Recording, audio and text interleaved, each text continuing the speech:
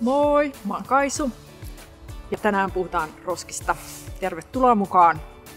Kuntalaiset on antanut myös palautetta, että etteikö tota kunta ota tosissaan niin teidän varsien siivoamista. Kyllähän me otetaan tosissamme tietysti.